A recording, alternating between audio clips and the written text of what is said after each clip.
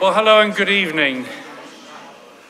Uh, my name is Dan Plesch, and for the last uh, decade now, I've had the great pleasure to be director of the Centre for International Studies and Diplomacy here at SOAS. And I'm pleased to say we now have some six different uh, postgraduate programs, and some of which you can study online without ever coming to London. Uh, I, there are leaflets, uh, so uh, I will spare you any further uh, direct publicity for the centre. But one of the great treats over the years has been this annual law lecture, which I uh, inherited from my predecessor, Dr. Slynn of the, the law school, um, and which is organised by civil society incarnate. Some of us study civil society. Um, David Wardrop, the, the gentleman in the middle here on the platform, is civil society, and I'll say a word or two about him in a moment. Um, uh, this event, uh, which is very much his uh, inspiration and creation, brings together uh, not just uh, SOAS and uh, the Bar Council and the Westminster branch of the United Nations Association, but within SOAS, both um, the CISD and, and the law school. Um, so in that sense, it's a, a multi-agency operation, and for that coordination alone, David should be, should be thanked. And we've had a, a distinguished uh, uh, gallery of speakers over the decade or so that I've been in post. I'm not going to talk about our speakers and the running order. That's, that's David's job. It's my job to embarrass David. um, uh, and I'll set out to do it. Um, there was a 60th anniversary of the United Nations in uh, 2005, uh, or thereabouts, if I have it right. Um, and uh, the United Nations Association, the government, the UN, UN itself wasn't much interested in a 60th anniversary. David had other ideas. he booked St. Paul's. He invited her Majesty Queen Elizabeth II. Her Majesty accepted. St. Paul's was filled. The anniversary was marked, thanks to David.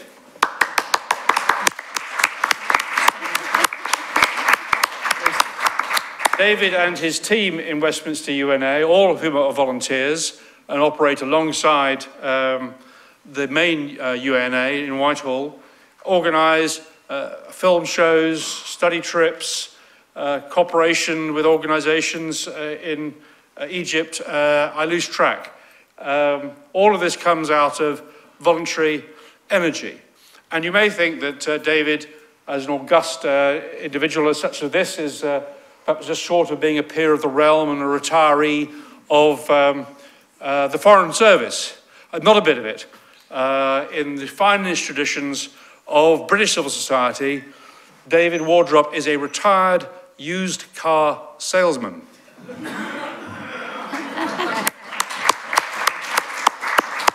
so, as we study civil society at SOAS and have all of our preconceptions about the sort of people who support civil society and are interested, and when we discuss and are told about the Westminster Village and the chattering classes, just remember what is achieved by a retired used car salesman when all these stereotypes are fed to us.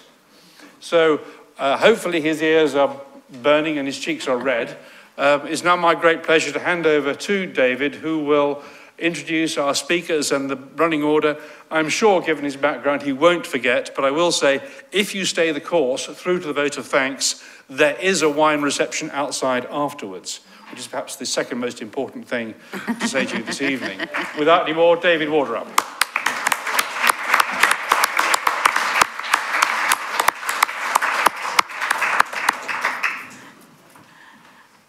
So I come to the most important part of tonight's activities. It is to plug Dan's new book. I must admit, um, having known Dan for a long time, in the early days, before the internet, before um, so much information became on, online, he was the person worldwide who discovered the early days of the United Nations, those early years in the late 40s, uh, early 40s, and what happened. Um, it was, his work was a labor of love, and, and very few of us believed he would actually conquer it. But as so much more information became online, I guess it became easier, and his three or four books, now the latest one, Human Rights After Hitler, I think his titles have always been fantastic, um, is going to hit the uh, shelves in a month's time. Uh, I congratulate you, Dan, on, on behalf of so many people who are in the United Nations and work for what the United Nations tries to do. You have made sense out of what many of us had seen was the fog of its earliest years. Congratulations. Um, it was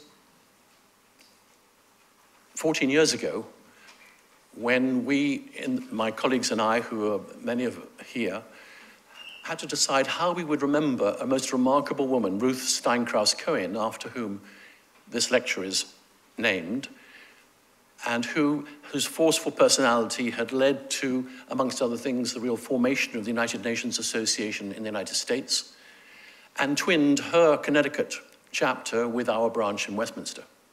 Uh, we benefited in her legacy. How should we remember her? The year 2003, the answer lay all around us. Today is March the 7th. A couple of weeks ago, 14 years ago, 8 million people had marched against the impending war in Iraq, the most in history. It seemed that the United Nations was being brushed aside by nations deciding not to go to the Security Council and test the validity of their case. And that is what happened. Ruth had two driving forces in her life. One was the United Nations, and the second was the work of Hugo Grotius, the father of international law. And that was obvious for us.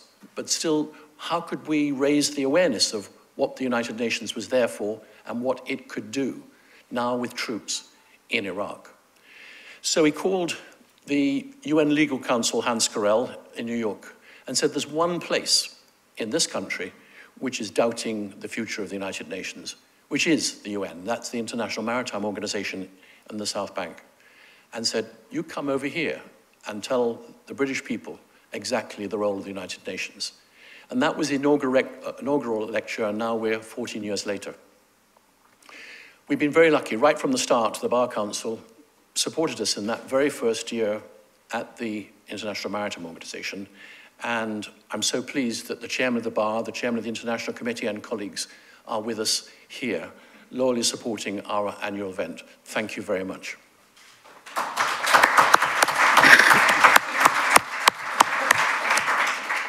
Before I introduce our speaker, and I'm not going to dwell too much on her background because all of you who have registered chose to attend because you saw the important role she plays. But last year I was foolish enough, foolish enough to say that this annual law lecture was one of three flagship events we hold in the year.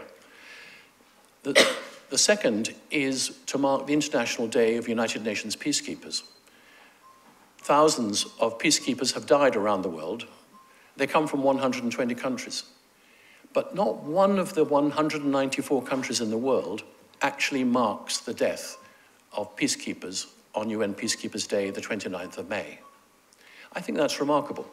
So 13 years ago, we started our conference and a ceremony at the Cenotaph, initially with traffic passing either side, but now all that Whitehall is blocked off for us, and this last year we had 100 embassies laying wreaths marking dead peacekeepers from other people's countries. That's the remarkable thing. But I have to say the more remarkable thing is not a single government in the world does that. It's deplorable.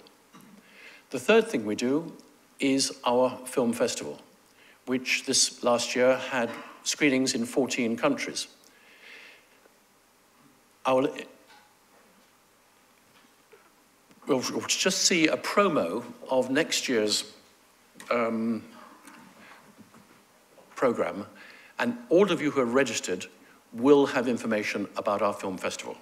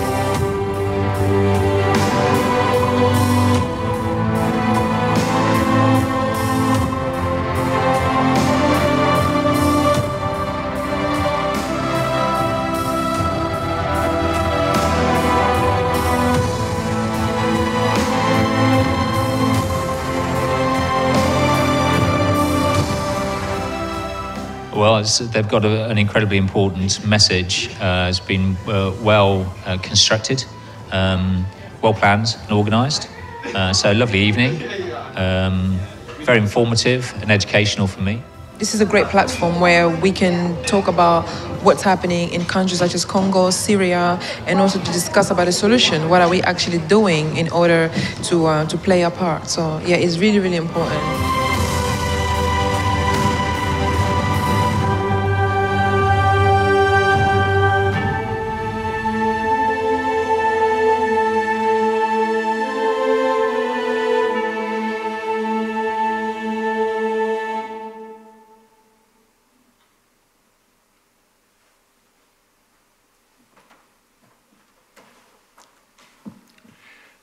So, as I say, each of you who have registered um, will know all about the film festival when it happens in November. Now I have the great pleasure of introducing our speaker tonight, Francoise Hampson. I've known Francoise for a long time. She spoke, has spoken at uh, our meetings in, in Parliament several times, and I'm struck by the clarity with which she, okay, um, with, with, with she handles uh, the issues in which she's spoken about.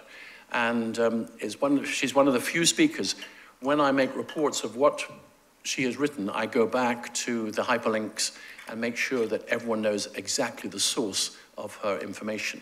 Um, she's a remarkable speaker. I won't say anything more about Francoise because each of you have read her CV on the Eventbrite documents. Francoise, welcome to the podium.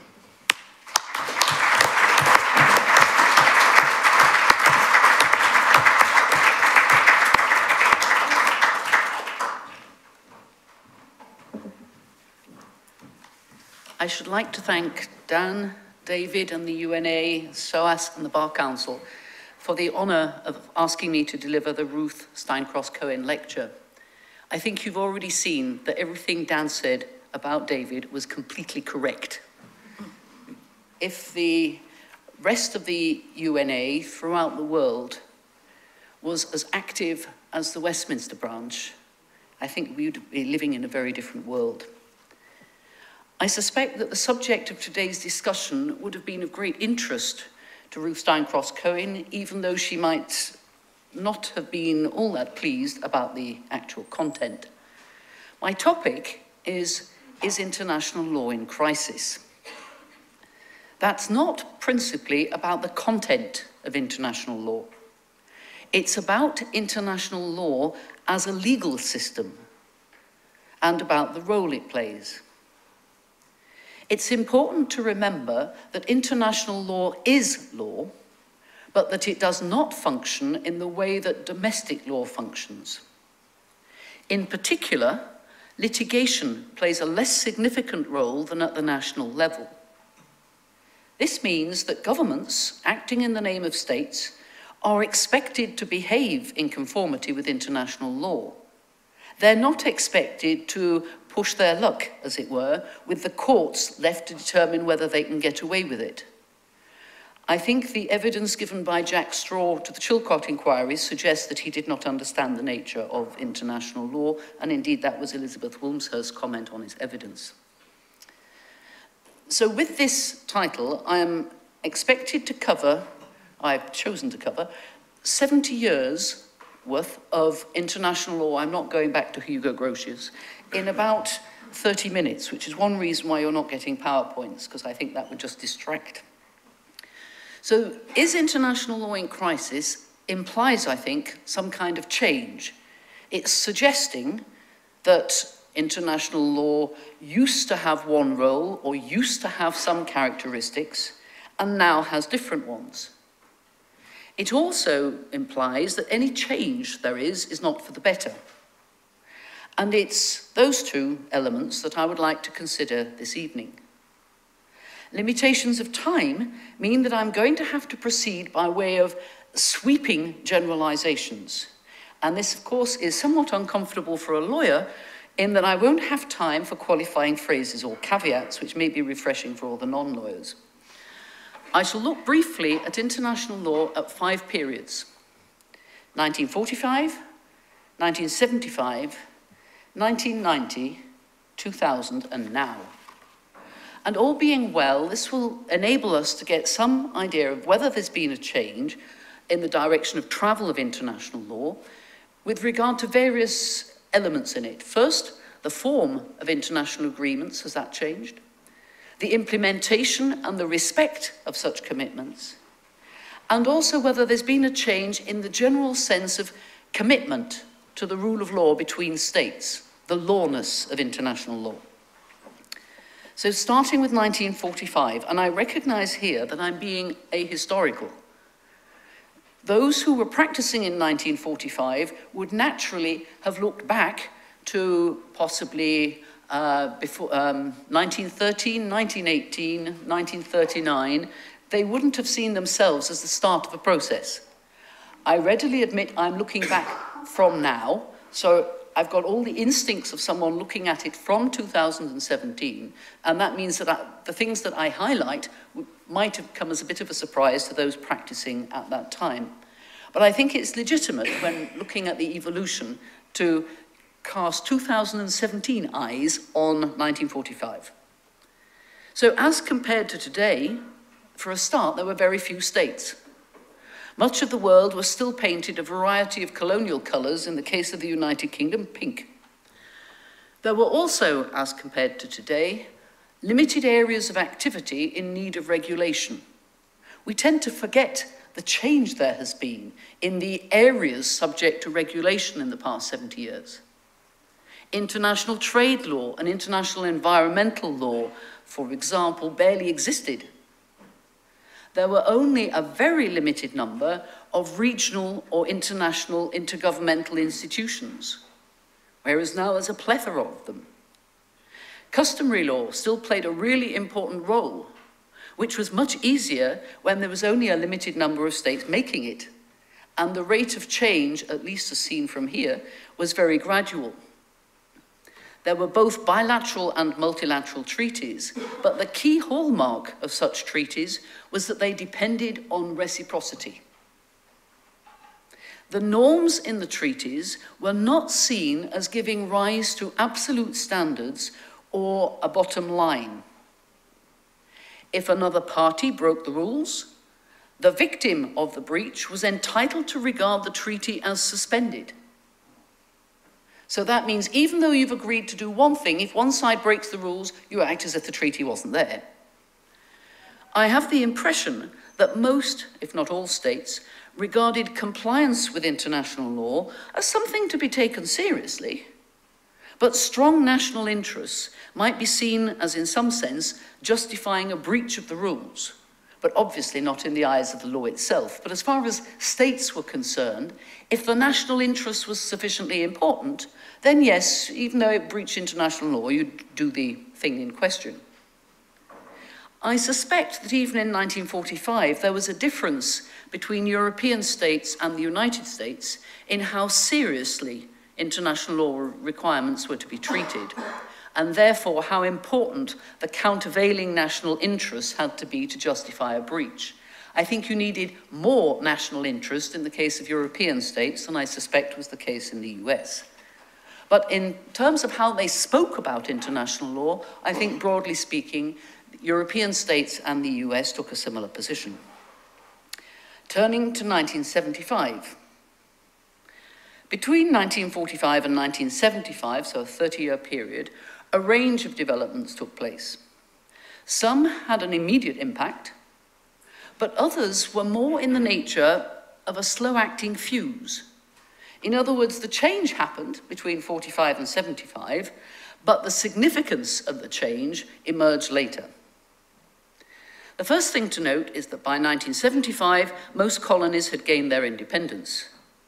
In other words, there were far more states than there had been in 1945, which of course is going to have implications for the making of international law.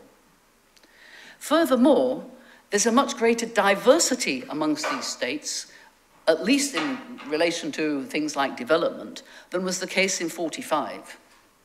So it's not just there's more of them, but they're much more varied than they had been. In this 30-year period, a very considerable number of regional and international intergovernmental organisations had been created. So there's a lot of people doing stuff that hadn't previously been doing it. Some of these organisations had dispute settlement mechanisms. That meant there was the possibility of authoritative determination of violation. So it was no longer just left to the states themselves to say, oh, I think you violated the rules, or very occasionally the International Court of Justice. In this 30-year period, new areas of international law had emerged or were beginning to emerge. The General Agreement on Tariffs and Trade, GATT, which was the forerunner of the World Trade Organization, was in a position to promote international trade law. Most obviously, between 1945 and 1975, we saw the emergence of international human rights law. Even though what international human rights law was about was traditionally the antithesis of international law. It was about what states did in their territory. That, historically, had been excluded from international law because it was purely domestic law. So it's not just that this is a new area, but it's a new kind of area. 1945 saw the creation of the first of what became known as UN special procedures in the human rights field. The two UN covenants and the American Convention on Human Rights had not yet in entered into force, but were to do so the following year in the case of the covenants and in 1978 for the American Convention and of course a regional mechanism to which I will refer later existed in Europe. In the case of this human rights machinery, we have an example of the slow-acting fuse. The International Covenant on Civil and Political Rights, the American Convention and the European Convention provided for a right of individual petition. That was to come into its own fully approximately 20 years later. In this period, there were a significant number of standard-setting international agreements that were concluded. The Vienna Convention on the Law of Treaties made significant changes in the treaty regime. First, it provided that in the case of a limited category of treaties, a state was not free to suspend the provisions of a treaty just because the other side had violated an obligation. In other words, there was a bottom line. That represents a significant change. Another significant departure was the approach taken in the Vienna Convention to reservations. As of 1945, a state that wanted to ratify a treaty with a reservation could only do so if every other state accepted the reservation. That meant a lot of states ended up not joining in treaties because they couldn't get universal acceptance of the reservation. In the Vienna Convention, it turned that on its head. You were free to make reservations unless they were expressly excluded or they were inconsistent with the objects and purposes. So that promoted inclusion into treaty regimes. So you can see there's a significant impact there on how treaties are going to work, which is the principal instrument in international law. In 1975, a very interesting treaty was in the process of being negotiated, and that's UNCLOS, the UN Convention on the Law of the Sea. And the first thing to note about that is it's really rather odd that they needed to negotiate it at all. In 1958, there had been agreement on four separate treaties dealing with four separate areas of the law of the sea. But that actually turned out to be a problem because states would ratify the bits they liked or the treaties they liked and not the ones they didn't like. So you ended up with a complete patchwork of obligation and it was very difficult to see when looking at two states and the obligations they owed one another, what on earth they were. They had therefore decided that this area, the law of the sea, needed to be subject to comprehensive regulation, not just something on territorial sea, something on fishes, something on exclusive economic zone. Everything needed to be dealt with together. Now, the logic of that is since you're dealing with it as a package, you can't have any reservations because in that case you'd fragment the treaty. So this UNCLOS, the UN Convention on the Law of the Sea, was negotiated as a package. They always knew it was going to be a package deal, and it duly prohibited the making of reservations. So what we can see with these new areas of international law, including new kinds of areas, special treaties making significant changes in how international law works, you can see a significant degree of creativity and flexibility. The tools of international law were being adapted to suit the particular needs of different subject areas. This very adaptability was ensuring that either international law was more useful or at least that it was useful. There was no homogeneity of approach. You didn't say all treaties must be like this, all international organizations must be like that. Having said that, because this looks like good news, we need to remember that in some areas there had been virtually no progress. In 1975, the UN Security Council was in full Cold War deadlock. At a regional level, there was one development that makes all the others pale into insignificance. It was radically innovative, and that was in Europe. The EEC, and I mean the EEC, not the EU, the European Economic Community, which absorbed the European Coal and Steel Community and Euratom, was the first and to date the only supranational organization. Most intergovernmental institutions, if they come up with a decision that only binds states, it doesn't have a direct effect in the domestic legal order of states. If you want to change the domestic law of states through something that has been decided by an intergovernmental organization, it's necessary for the legislature to pass national legislation. As a result of the provisions of the Treaty of Rome and the role given to the European Court of Justice, that's not the case with regard to certain forms of decision-making, notably regulations, in the EEC. That gives rise to an interesting chicken and egg problem. Were European states willing to accept such a development, the creation of supranationality, because they already had a different attitude to international law? Or did the acceptance of supranationality speed up the development of what had originally only been a slight difference of attitude? I don't know the answer to that question. By 1975, it was fairly clear that European states had a different attitude to international law than other states. They generally recognized the sheer lawness of it, that this was not simply one of the elements to be taken into account when deciding what your national policy was going to be. It actually was there as a constraining element, as law. Within Europe, some states were further advanced than others, but generally speaking, all European states were much further advanced in this direction than, say, the USA or the Soviet Union or India or any other state. The next stopping off point is 1990. In the period between 1975 and 1989, it might be argued there were few radical new developments in international law. I don't mean it had gone backwards, there was a consolidation of the kinds of things we saw between 1945 and 1975.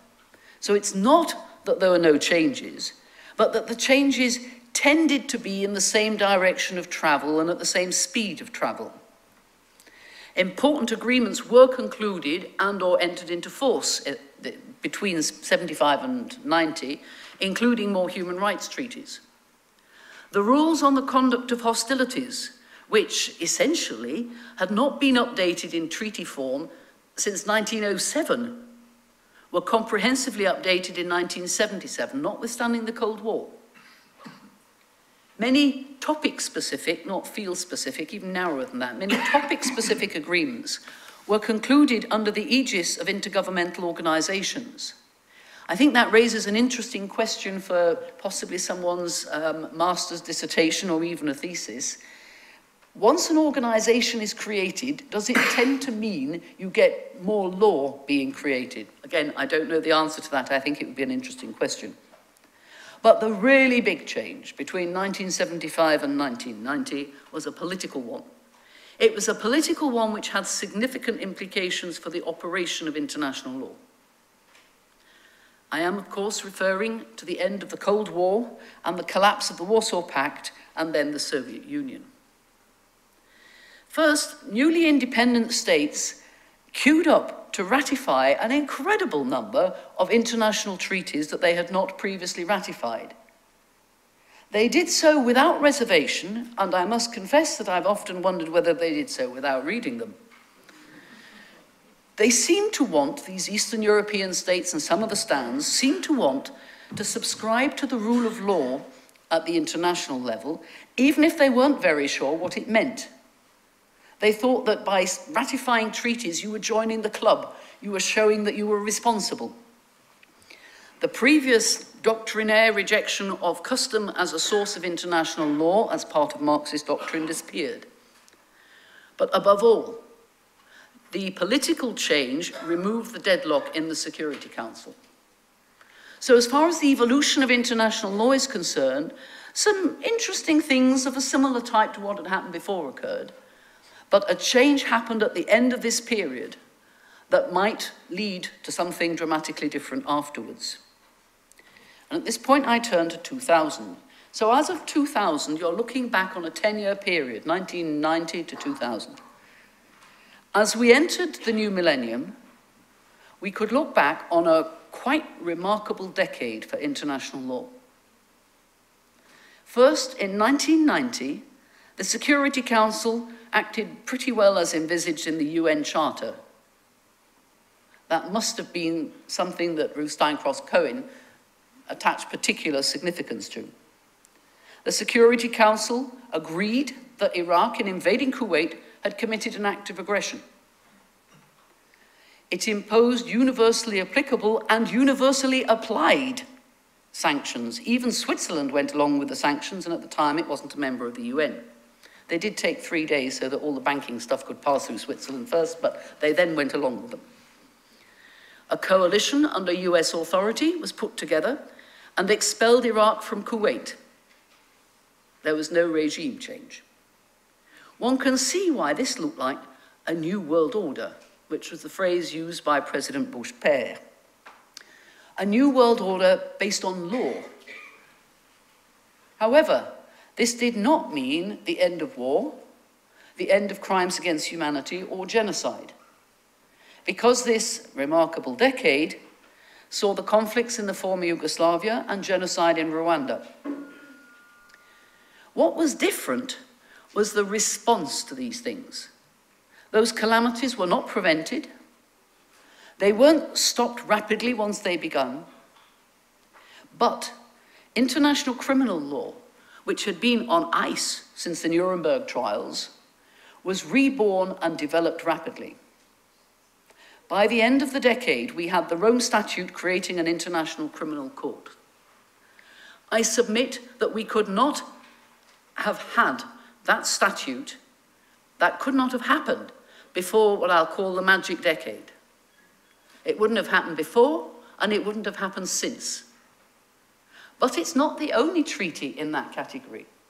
There is a lesser known treaty of which the same, exactly the same thing could be said, and that's the Chemical Weapons Convention. It's really quite difficult because of the nature of chemical weapons, controlling and uh, getting an effective system of implementation. So they knew to make this thing work, you had to have a really good system of implementation. The system in the convention is the most detailed, the most intrusive, and the most costly in purely economic terms of any implementation system I've ever come across. Again, I don't think we would have got it before that decade, and I don't think we'd have got it afterwards. Alongside those two pretty cosmic developments and the functioning of the Security Council, earlier initiatives came into their own, most notably the right of individual petition. Judgments were rendered, particularly by the European Court of Human Rights and the American Court of Human Rights, that had significant implications for the respondent governments. So the first thing was the judgments were rendered, but they generally accepted them. If you want an example, think of the case of McCann, the Gibraltar killings case. That was a very close decision all the way through the national courts and the Commission and the European Court of Human Rights. And yet the UK accepted the finding that in the planning of the operation in Gibraltar, nothing, not enough had been done to protect the right to life. So that decade, the 1990s, also showed human rights law being used in situations of conflict. That has developed much more since then, but it was a striking feature of some of the litigation. As a member of the UN Subcommission on the Promotion and Protection of Human Rights from 1998, I was really struck by what seemed to be a change in the attitude of states. And this wasn't just that I was wearing a UN hat and previously I'd worn an NGO activist hat. I was used to states refusing to engage in any meaningful sense if you attempted to raise human rights concerns with them. They seemed to assume that this was all a political ploy by the West. So you might be talking law, but you meant politics. That began to change. And I think that what made a difference was partly the end of the Cold War, but also the fact that non-European states could see European states who were beating them about the head about their human rights record were themselves accepting judgments against them. They weren't just talking the talk, they were walking the walk. When they said you're not allowed to do this, they might well themselves have already been found to have violated that. And recognizing that the language of international law was not simply a political tool, but had an autonomous weight in and of itself, began to change the attitude of other states. I think that was reinforced by the fact that all these newly independent Eastern European states, enthusiastically ratifying every human rights treaty in sight, tended to reinforce the Western European position. And it was also reinforced by the political changes in Central and Latin America, where you'd got the overthrow of military regimes and the, institu- and the installation of democratic regimes that were very concerned to transition from their previous attitude to the rule of law. So a range of things led to it, but it does seem to me that non-European states were beginning to see that international law might, might not simply be one of the elements you take into account, but it was significant as law. They're not yet convinced, but they're open to the argument. I think you can see that as some states accepted, at least in some fields, intrusions into national sovereignty that I think they wouldn't previously have accepted. One example there, I think, is the ratification by so many African states of the Rome Statute. Maybe they thought that this was part of being a responsible citizen of the international community. In this period between 1990 and 2000, European states continued to take international law ever more seriously. If you said something was in breach of international law, and if that, that was not really arguable, then that was an end of a discussion, right? That meant you didn't do it. Within Europe, the gap between those in the lead and those a bit further behind narrowed. In particular, France at long last discovered international law. Um, but that's only since the late 1990s. I speak as a dual national, so I'm allowed to criticize them. I think this increasing sense of the lawness of international law went hand in hand with an ever greater reliance on multilateralism, not merely in the negotiation of treaties, but in how you set about addressing problems. You didn't attempt simply to sort them out bilaterally. And this new focus on multilateralism included Russia. The end of this decade, between 1990 and 2000, was marked by one negative development the intervention in Kosovo. It was generally seen as understandable, possibly morally right, but as unlawful, which is a weird combination.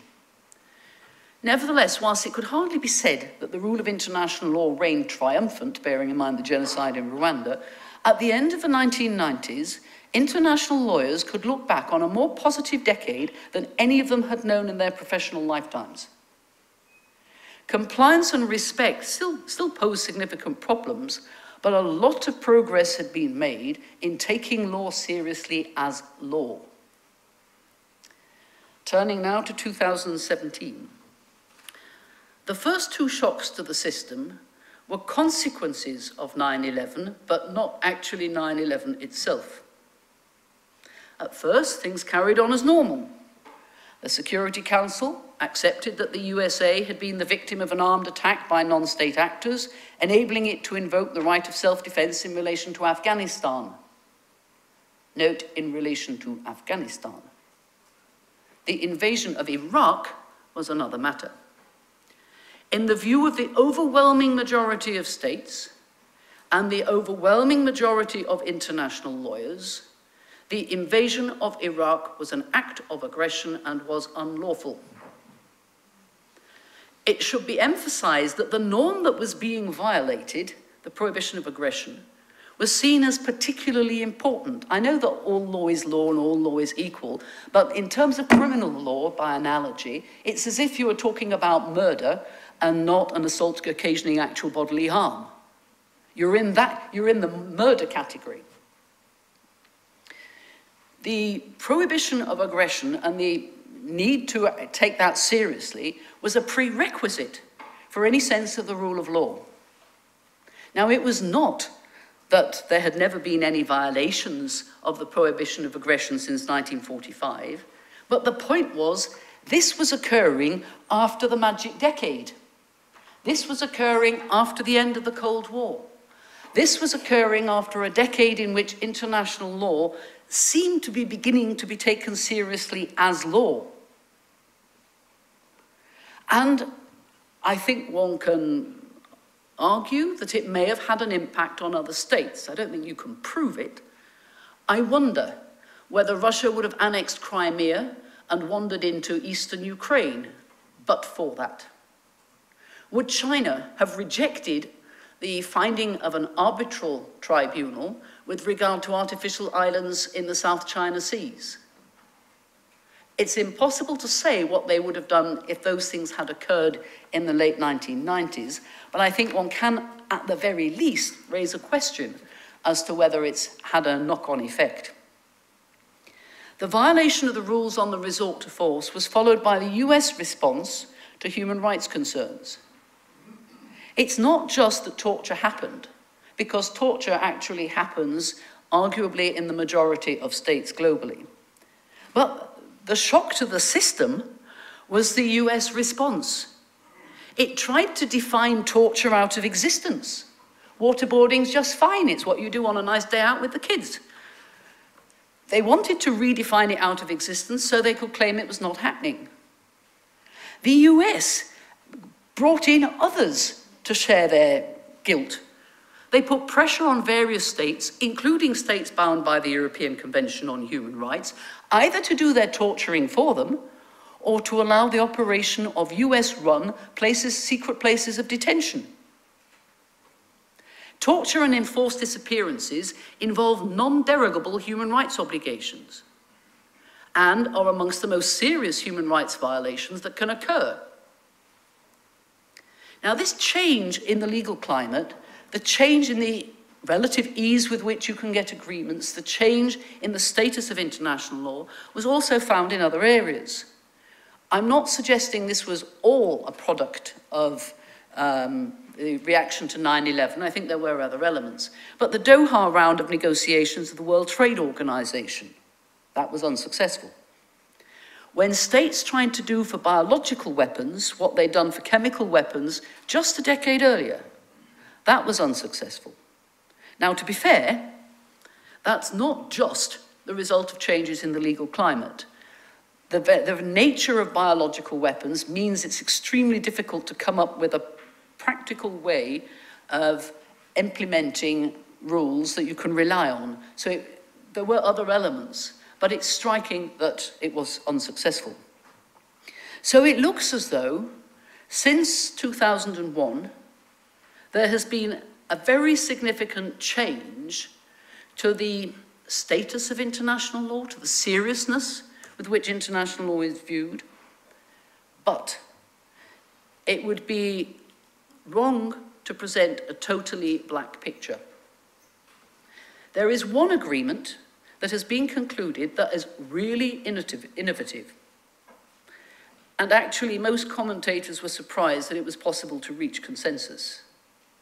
I am, of course, speaking of the Paris Agreement on climate change.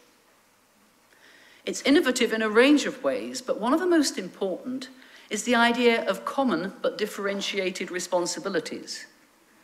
Now, that was first found in the Kyoto Agreement, but it's not the kind of thing you'd expect to see in a treaty. You assume you're all taking the same obligation to recognize that for a range of reasons, states need to have shared but different responsibilities is really a significant step. The Paris Agreement was a high point in effective multilateralism, and it occurred in this black decade. Since then, and lastly in this historical survey, there is the rhetoric of President Trump. It's too early to determine what he's actually going to do. In some areas, his actions to date, but of course this is only a couple of months, have been more cautious than the statements he made during the campaign. He's declared himself to be in favour of torture, even though his most senior military advisor says it doesn't work. He said he favours developing the coal industry and wants to abandon the Paris Agreement. He hasn't done it yet, but the people he's put in environmental positions in the US make one concerned. Rather than President Reagan's approach of speaking softly whilst carrying a big stick, President Trump seems to want to scream. What we don't know is whether he's threatening a big stick or not. So whilst we can't say what he's going to do, in nothing that he's said or done so far has he shown any awareness of the existence or importance of international law, or even US constitutional law for that matter. He seems unused to the concept of law as a constraining element, as opposed to law as something to be got round. So what's going to be the effect of this on the strong European sense that had developed from 45 through to 2000 that international law was important? In fact, I think it's other developments that seem to be making inroads into this European consensus. The economic crisis, which started in 1998, has led to the cutting of budgets and austerity with all sorts of knock-on implications in Western European states. And that's focused a lot of attention on those making claims on welfare budgets. The refugee and migrant crisis has been handled with a near total disregard for the distinction between refugees and migrants and the non-respect of obligations owed to refugees. The rise of populist and nationalist politicians in Europe seems to pose a challenge to consensus-based, compromise-based multilateralism and to the respect of international legal obligations, however inconvenient they might be. The focus now is on national, not communal interests, on sovereignty, not consensus, on transactionalism, not consensus-based multilateralism.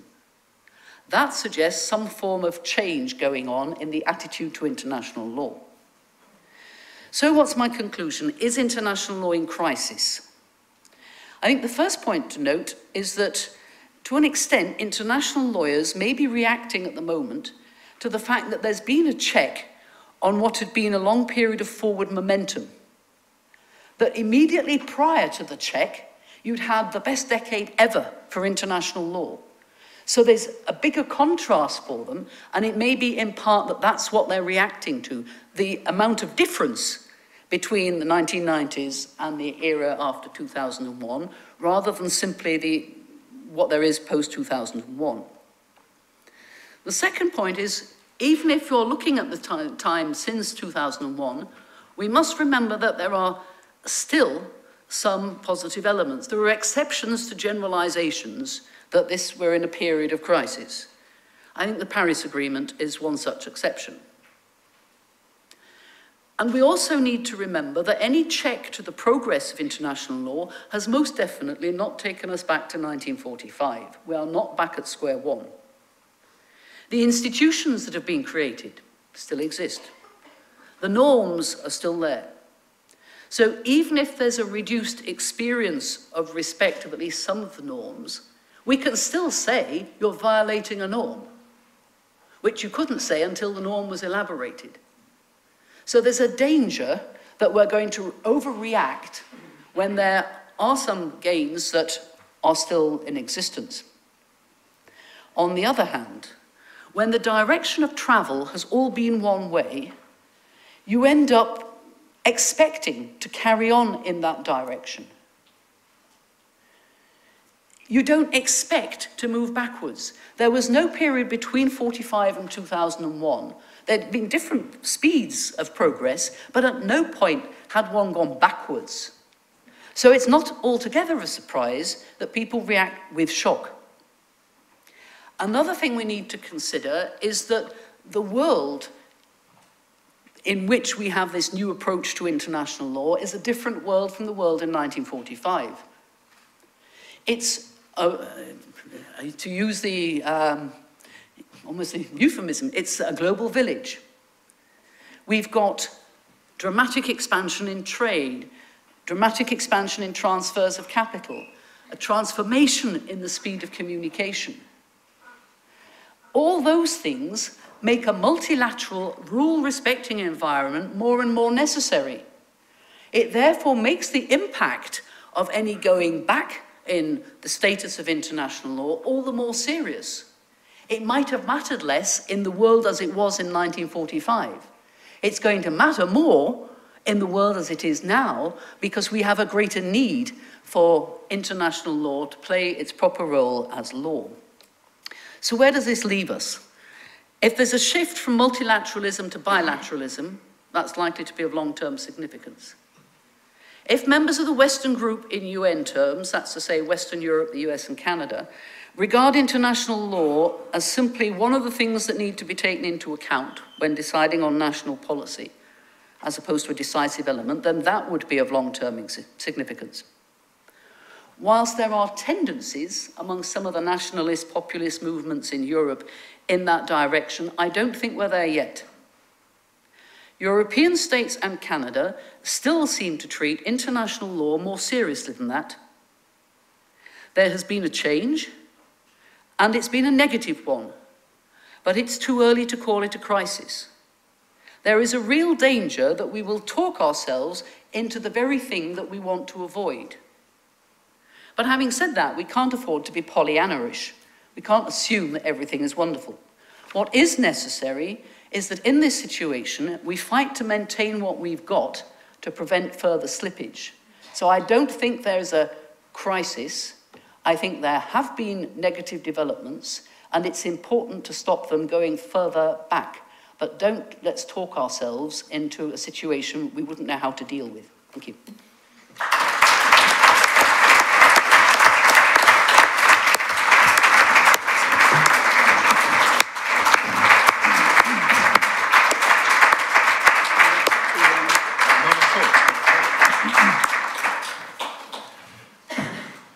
Everybody, there are two microphones. Um, I'm not sure if they're being handled. They are. Good. Just one. Gosh, you're going to be working hard, aren't you? so, questions to our speaker. Um, just behind you with the microphone.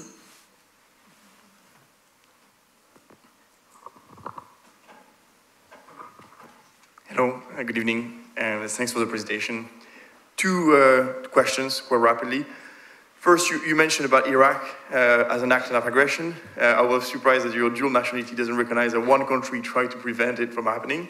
The same one that wasn't recognizing the international laws at a late stage. What happened then afterwards? So you recognize that it was an act of aggression. What are the consequences? That would be my first questions. Second is, was Libya also an act of aggression? And the third question, sorry, is uh, just to group them. I'm very glad you mentioned about international uh, law of the seas who is responsible for uh, governing it and um, who is then acting, for example, if a state decides to build islands, as you mentioned earlier, into the international seas, or if uh, a private venture decides to drill in the Arctic, for example, who is responsible then for enforcing these international laws? Or at least, you know, giving an agreement to go ahead with drilling, for instance. Thank you. Thank you. Do you want me to do each question as it goes? I think we're, that's about, take this lot as a bundle, yes. Um, first of all, the consequences of the act of aggression. This is one of the areas where international law is not like domestic law, but it doesn't mean there aren't any consequences. Straight away, you thought, well, we can't trust the Americans and the Brits.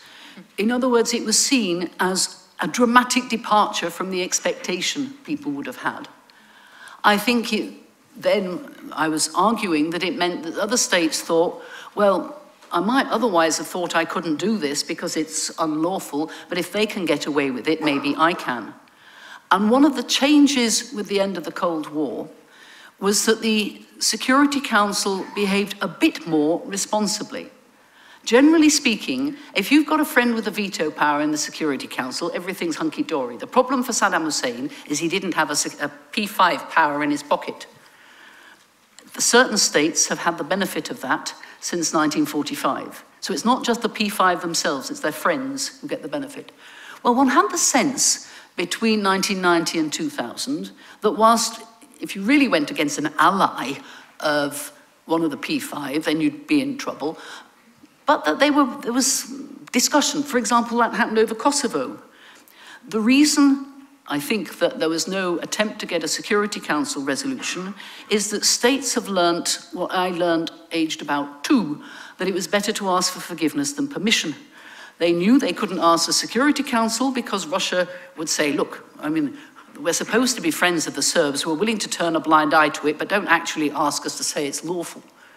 Whereas what happened over Iraq was so flagrant that this was a complete shock to the system.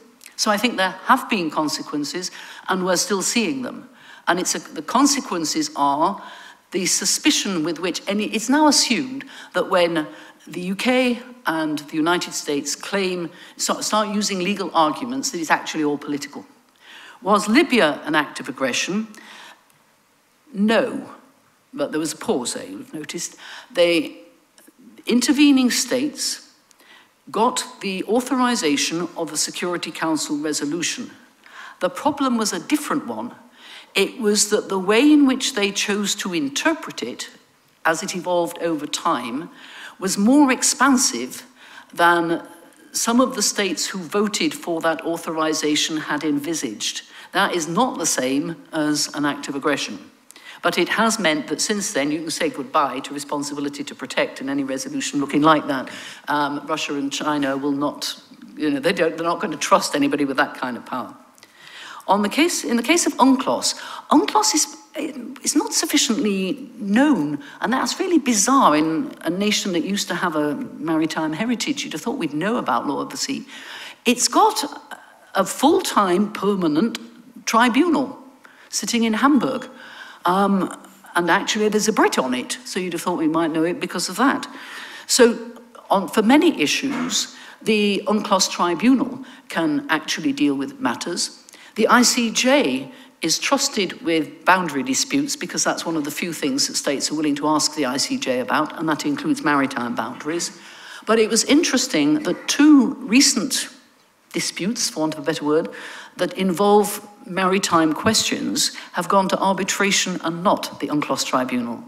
I have in mind there the um, reaction of the Mauritians to the declaration of a bad faith fishing zone around Diego Garcia, which was used as a pretext for keeping out the Chagos Islanders, and also China over the artificial islands. In the case of Mauritius, another reason why they had to find something peculiar that they could use was they couldn't go to the ICJ because the UK, we modified our 36.2 acceptance of ICJ to say if you are a Commonwealth state, you are required to exhaust other remedies first. And that was put there because they feared that Mauritius might do something with regard to the Chagos Islands. Um, it's striking I don't quite understand why China, if they agreed to the arbitration, should then simply reject it.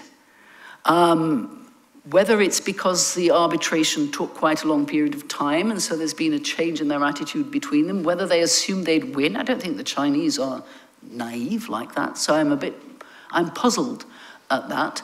But what's striking is the frequency with which states with maritime disputes will take them to some judicial or quasi-judicial form of dispute settlement. And most of that we, we don't read about in the press. So I thank you for raising the issue of UNCLOS. Thank you. Uh, Questions? In the middle? If the two of you could make short questions, I know you're beside each other. Uh, mine is a very short question. In view of, uh, what is it, 300,000 dead in Syria and how many refugees? They're numbered in millions, I think. Um, I can't see how you can fudge the answer to the question posed by your title. Implementation of international law is in crisis. It didn't solve this ghastly problem. And I, I mentioned Ukraine as well. I mean, it's not quite as bad, but Syria is appalling. Surely a crisis. Pass the question to Poonam.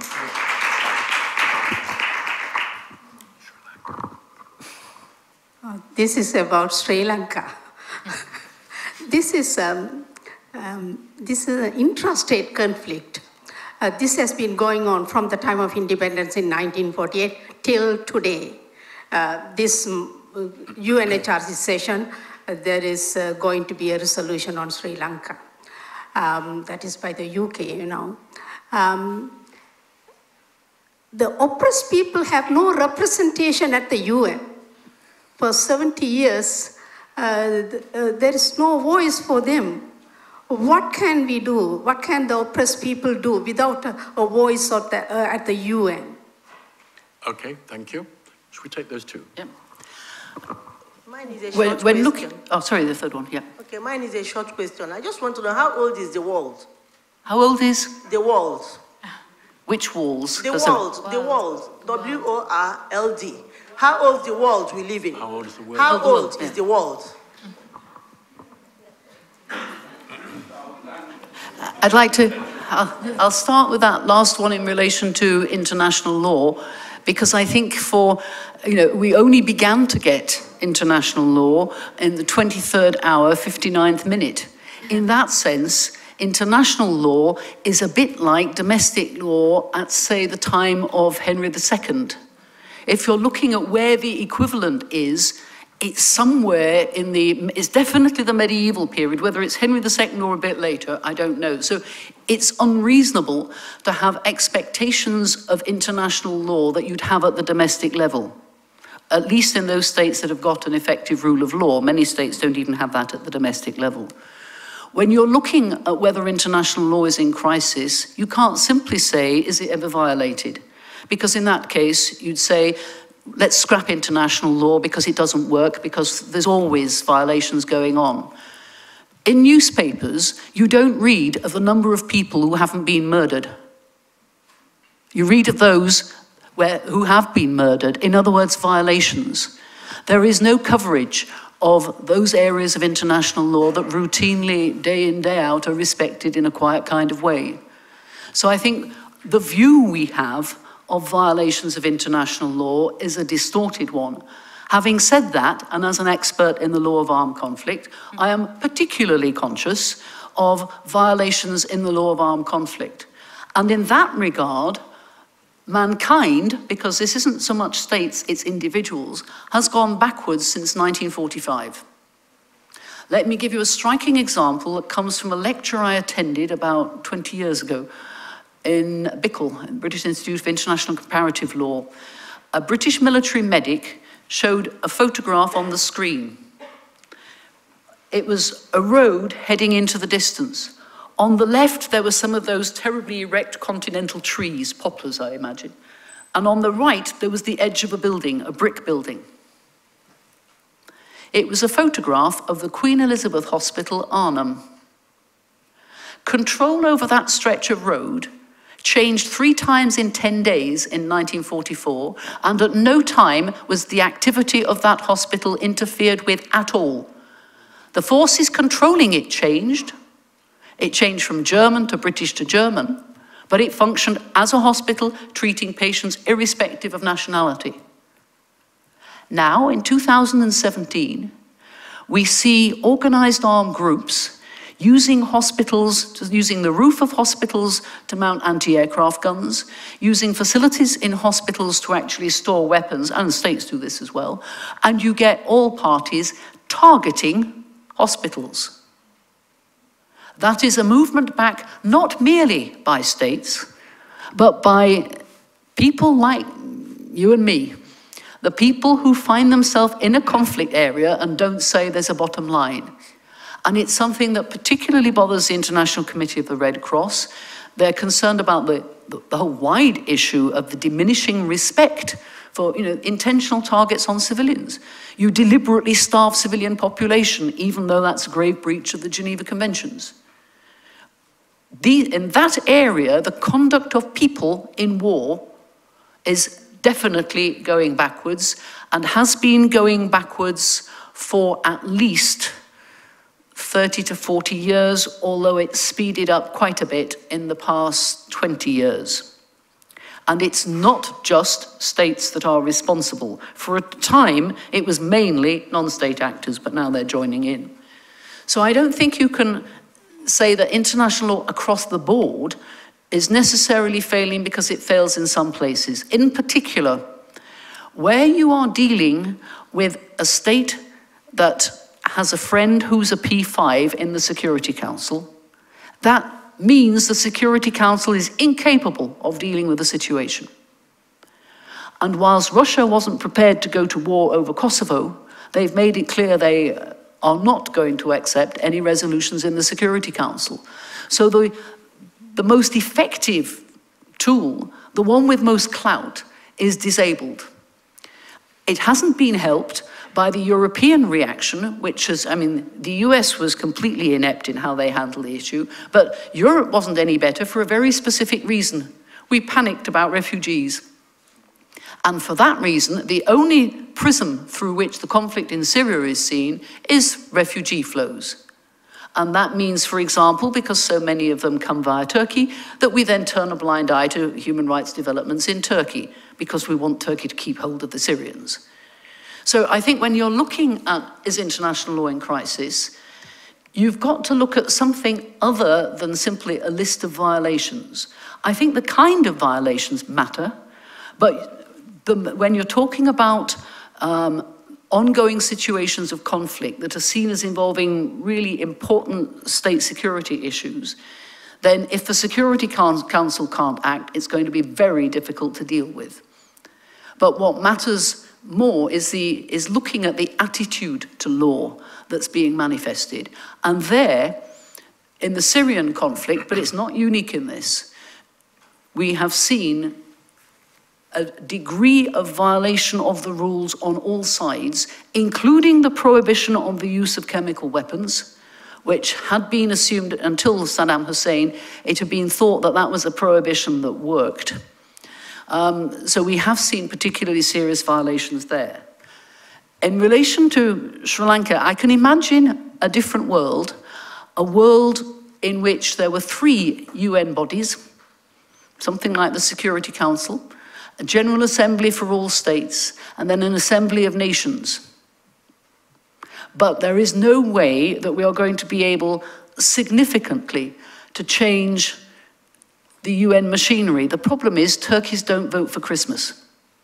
So the reason why we can't get change in the composition of the Security Council is because that has implications for the veto power, and none of the existing veto powers, particularly the UK and France, um, want to open that question. So you're in a situation, I mean, the only time you change these omnicompetent intergovernmental organizations is after World War, and I would rather keep the UN than have a world war. But it means it's extremely difficult to get significant changes. And bearing in mind the changes in the world in which the UN is operating, I think it is institutionally not fit for purpose, so we've got to do the best we can with it. But personally, I think if there had been a forum for nations as well as states, I would have welcomed it. Okay, some questions right at the back there. Take the couple. First you and then the gentleman behind you.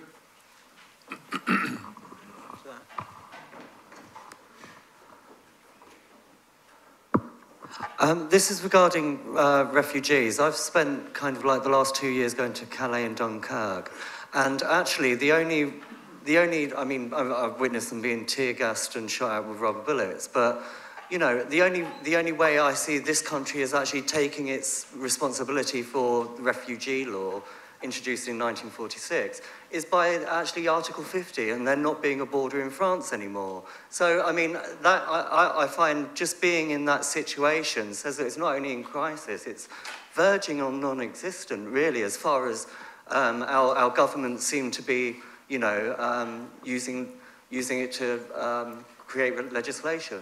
Okay, really. and, the, and the gentleman in front of you. Um, while mentioning the golden period of international law, you said that the non-European states accepted it because European states were subjecting themselves to the international law. But now with the populist rise in Europe and election of Donald Trump, you have complete disregard of international law. Uh, for example, during the campaign, Donald Trump went as far as to say that for terror, to curb terrorism, you have to take their families out, or uh, torture for that matter. And we see that uprising happening against the International Criminal Court, where countries like Gambia, Burundi, and South Africa are trying to remove themselves from the ICC. So don't you think this is indeed a step back in international law, whereas they are taking a cue from the European and Western states that they are not respecting international law? We'll take one more uh, from... Okay, right down the front on the...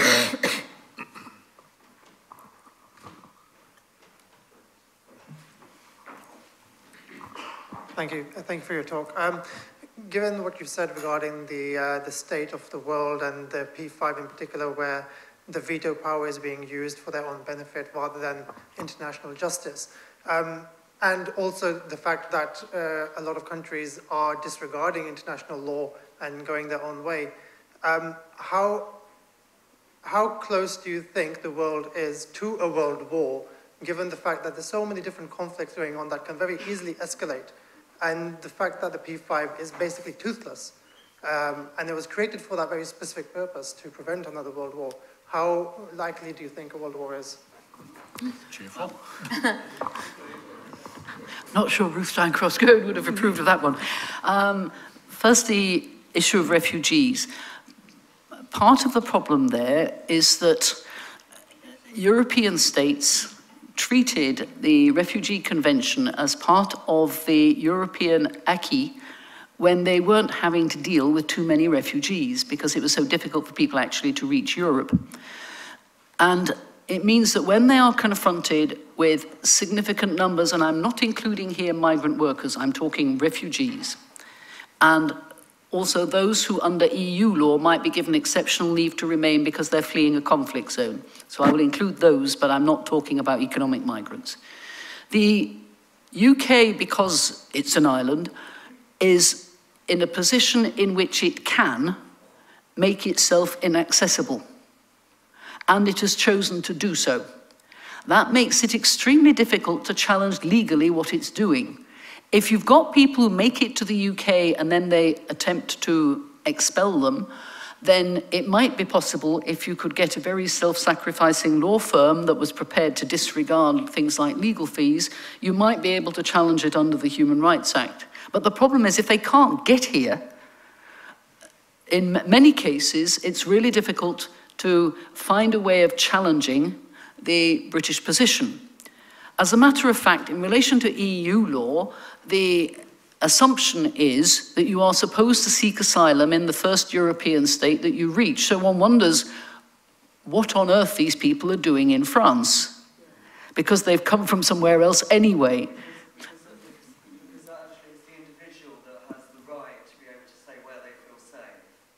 Um, they don't have a right recognised in law to say where they feel safe. The right that they have in international law is to seek not necessarily to get, to seek asylum. And the state that is being asked to give them asylum is not allowed to send them to a place where their lives would be in danger, but not where they would feel unsafe, but where objectively their lives would be in danger.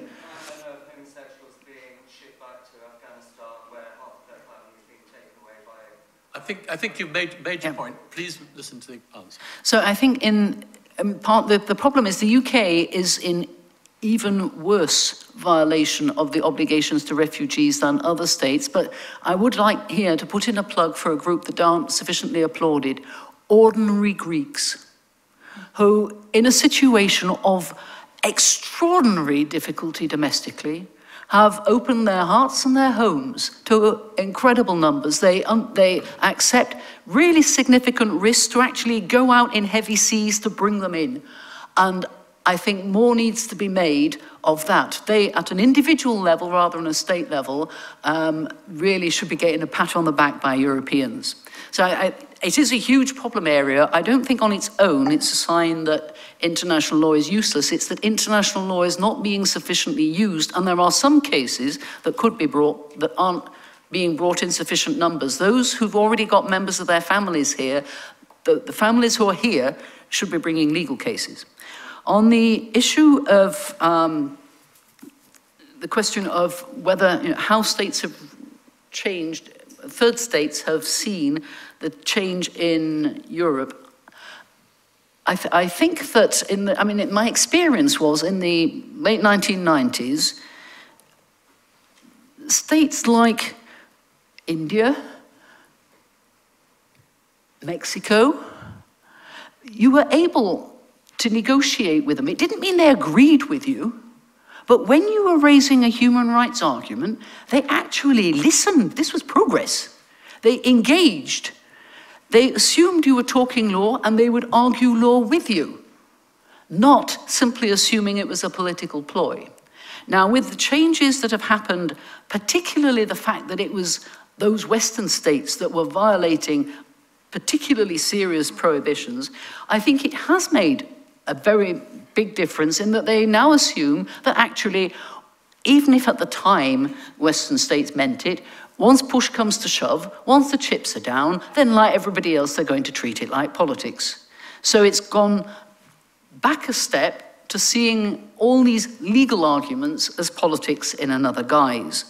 But there is one bit of possible good news the reaction of China to the rubbish that Trump was spouting on the Paris Agreement was, in that case, we'll take the lead. Because people had thought that there was a real risk the whole agreement would collapse if the US pulled out. China, because for internal domestic reasons, not least their dramatic pollution problem, they want to address some of the issues that are relevant to climate change. And if they do take it upon themselves to take the lead, then that is going to make at least some of Trump's advisors, if not Trump himself, think. So we've got to wait and see whether other states are willing to pick up certain batons. It won't be across the board. It won't be China suddenly saying international law is the greatest thing since sliced bread. But in certain areas, you may get some initiatives like that. Are we heading towards um, a new world war? I think the first thing we've got to be very cautious about is the element I raised at the end. We've got to be really careful we don't talk ourselves into the, precisely the thing that we are objecting to. There are a range of concerns, and they include the fact that in some areas we don't have the tools of international law that we need to address the problem. Um, NATO keeps talking about something that I think is a political science term, but I wish they wouldn't use it in the presence of lawyers. They speak about hybrid warfare to cover a situation that is by definition not war. Well, I do have a bit of a difficulty with that as a lawyer. They're talking about the situation where one state exploits the situation in an adjacent, usually smaller state. They may exploit alleged or actual grievances of a minority population that share their ethnicity, they hollow out that state so that they can bring about a situation in which then perhaps they're going to support their compatriots or they might not even need to go to war. Now, there the problem is that in relation to the prohibition on the use or threat of force, what they're engaging in isn't actually at this stage force. We don't have the tools in international law, but this is a much earlier stage than war. So stop calling it hybrid war. I think we do need to look at the tools available that enable us to identify activities by states which are not merely unfriendly, but which have carry with them an eventual risk of something very much worse. But one of the difficulties in that area is something that's going to happen more and more often in international law is the problem of attribution, knowing who's doing it. Because just because someone is in the territory of state A doesn't mean that state A is implicated. Now that's clearly true with anything involving cyber, but I think it more widely it's going to be regarded, it's going to become a problem if you've got organized armed groups, knowing in what circumstances they're actually under the control of a state and when they're not is going to affect what you can do about them. So I think we haven't adapted the tools of international law sufficiently to the changed world in which they're operating, particularly with regard to communications, but not just communications. I would hope, I mean, generally speaking, it seems to me that the history of Russian and Soviet leadership is they're not idiots. I wouldn't have had that confidence in Gaddafi, and I don't have that confidence in North Korea. But whilst you may end up with a mess that could have been prevented, I don't think they are seeking it. I think the West could not have handled worse the security implications since 1990 of the end of the Warsaw Pact. You needed to overhaul the role of NATO. It needed to become a security organization of pan-European reach. In other words, it needed to be able to absorb within it Russia, and that would me have meant a change in the nature of its activities. Russia has always felt threatened, and it is not alone in this, if uh, adjacent states are not under its control. If you'd suffered invasion as often as Russia had suffered invasion, it's where the Brits need a bit of humility about those countries that have been invaded. It does make, and, and been occupied, it makes a difference to how they see the world. Leaving aside issues of zones of influence, I think it was, we could possibly have got away with admitting Poland and possibly for historic reasons the Baltic states. But some of the expansion of NATO has been really in your face as far as the Russians are concerned. So it's not a surprise that they are reacting in the way in which they're reacting. And we're going to have to be careful because they're running the risk of very significant economic crises because of the decline in the price of oil. And Everybody knows that if you've got a significant crisis at home, the best thing is a nice little bit of foreign war. Um, so one's got to be careful, but I don't think the Russians are the key problem. I think North Korea looks as if it's even less under control than it used to be, unless China pulls its finger out. I think China is in a position to prevent that going um, all the way, but I would not like to be living in South Korea or even Japan at the moment. Right. So, before the war, we must make sure we have a drink. Even during the war. but, but before then, I'm asking Amanda Pinto, Chairman of the International Committee of the Bar Council, to give the vote of thanks. Thank you very much. Thank you. It's, it's a huge honour for us, for the Bar Council of England and Wales, to be associated with this event, which we are thrilled to be involved with and have been for many years and to support the uh, UNA Westminster.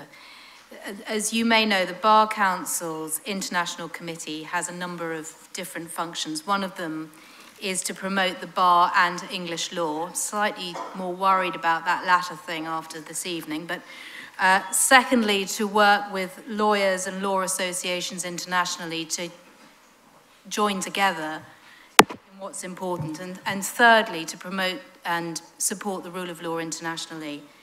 Uh, and this sort of event is such a great um, opportunity for us to engage in uh, those things.